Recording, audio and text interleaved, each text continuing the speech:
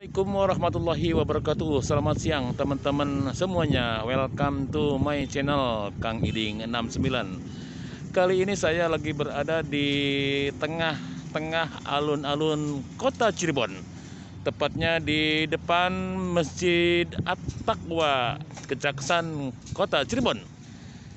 Di siang hari ini saya akan mereview Situasi di lingkungan alun-alun kota Cirebon juga di dalam Masjid At-Taqwa, Kota Cirebon. Inilah suasananya saya berada di tengah-tengah alun e, Kota Cirebon tampak dari sebelah huta sebelah timur ini pintu gerbang untuk masuk ke alun-alun Kota Cirebon. Dan ini di sebelah selatan ada semacam e, panggung yang di bawahnya eh, tempat berteduh atau tempat istirahat. Juga kalau menuju ke arah barat terlihat begitu megah Masjid At-Taqwa Kota Cirebon. Yuk teman-teman, kita simak selalu situasi dan kondisi di alun-alun dan di dalam Masjid At-Taqwa Kota Cirebon.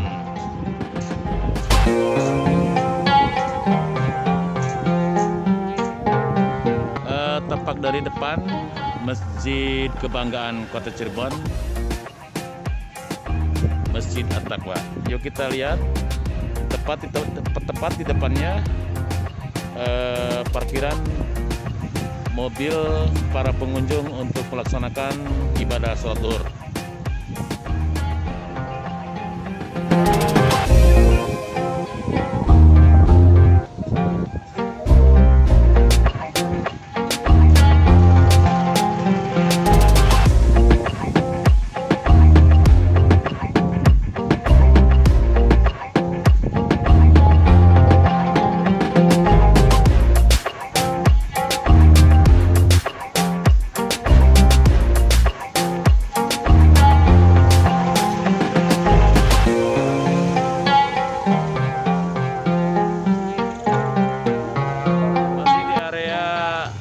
depan Masjid At-Taqwa Kota Cirebon di sampingnya eh, menyatu dengan gedung Islamic Center ini teman-teman.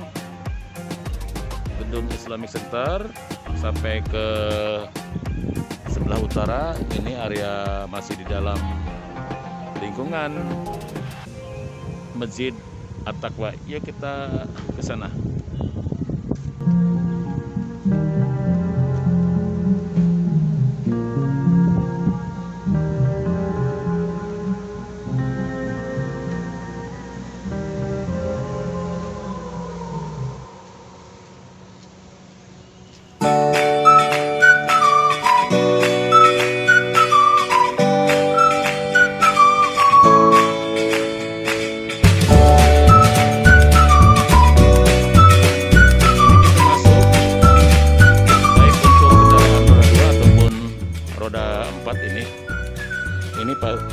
ke dalam atau ke depan Masjid At-Taqwa Kota Cirebon.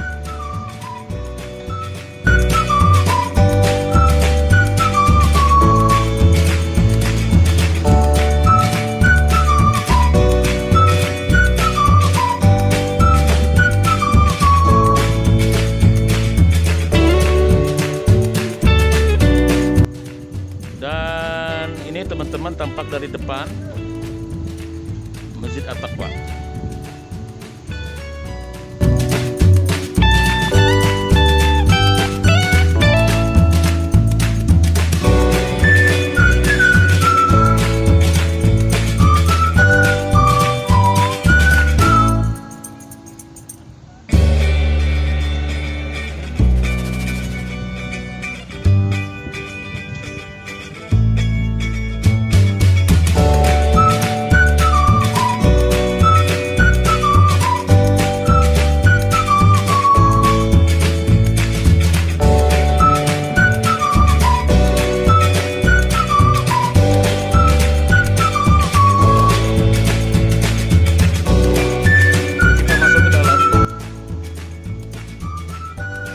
Dari pintu depan saya masuk.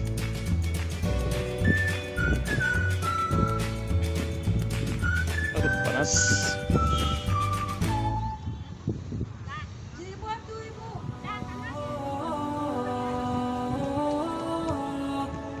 Kalau kita ke samping kiri itu menuju ke tempat wudhu khusus wanita. Dan untuk menuju tempat wudhu pria sebelah sana.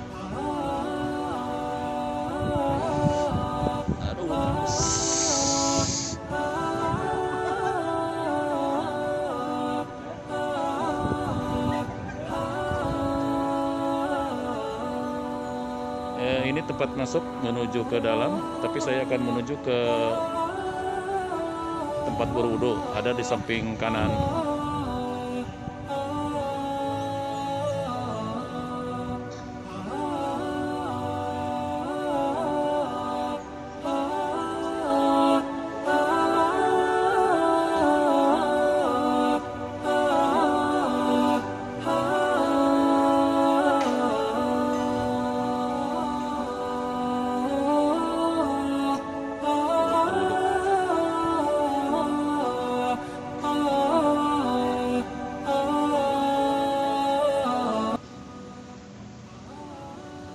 Nah ini tempat wudhu dan toilet pria.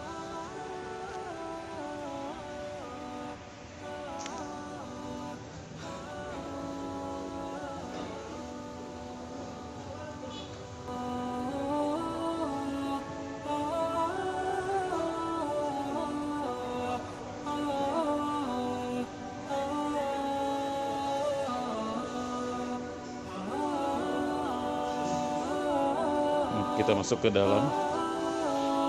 Ini masuk saya ke area untuk berwudhu sini.